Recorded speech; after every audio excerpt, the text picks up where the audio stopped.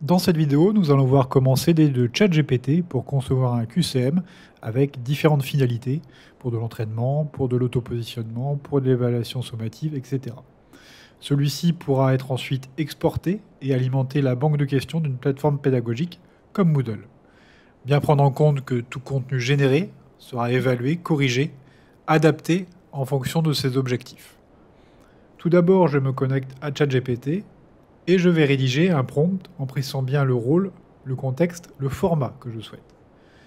Imaginons ici que je veuille créer trois questions pour des L1 biologie sur le thème de l'ADN avec quatre choix de réponse et une bonne. Le prompt pourra ressembler à en tant qu'enseignant-chercheur de biologie, donc le rôle, créer trois questions sur la thématique de l'ADN pour des étudiants de L1 biologie avec quatre réponses possibles et une correcte. Donc ici on a le contexte et le format.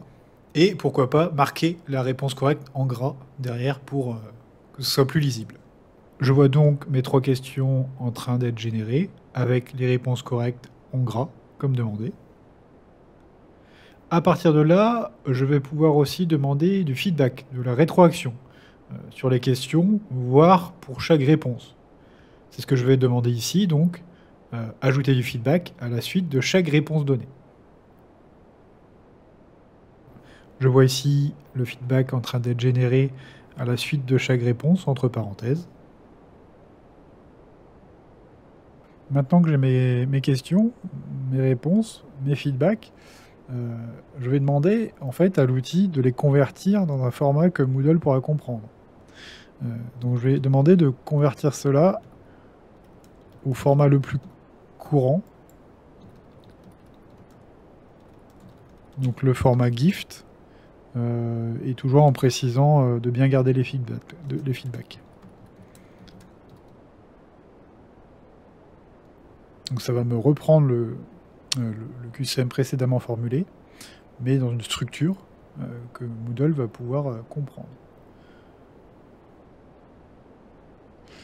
Maintenant, ce que je vais faire à partir de ces questions générées, je vais les copier. Ici, j'ai le bouton Copy Code. Et je vais les coller simplement dans un fichier euh, type bloc-notes ou TextEdit sur Mac. Et ensuite, ce fichier, je vais venir l'importer sur mon espace court Moodle dans la banque de questions.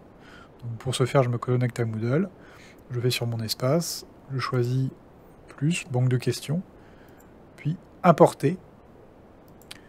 Là, on l'a vu tout à l'heure, on est sur un format GIFT. On aurait très bien pu demander euh, un autre format compatible. Euh, ici, je choisis la catégorie où je veux importer mes questions.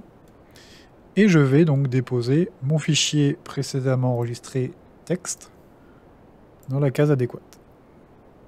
Je fais importation.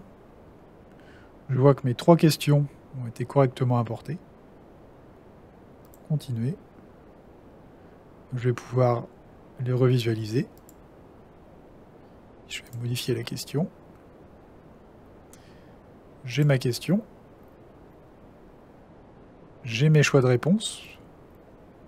Je vois qu'ici, j'ai la bonne réponse avec ici la note à 100%. Et les feedbacks qui sont précisés ici, donc pour chaque réponse comme demandé. Une fois que ces questions sont correctes, je peux créer un QCM sur l'espace et les importer euh, directement dessus.